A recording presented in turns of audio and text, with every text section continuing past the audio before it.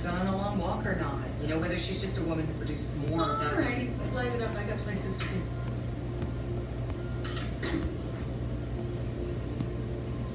I'm getting essence of rose water. and I couldn't help but notice this morning that you had quite a lot of pharmaceuticals, and one of them appeared to be focus related. Methamphetamines, mm, go on. I'll cut to the chase. You got what I needs. Over the course of their lives, women spend two years and 40 days in the bathroom. Men actually spend 85 more days. That's, you know, sure.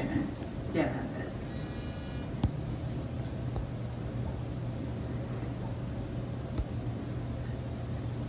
School mom, nightmare.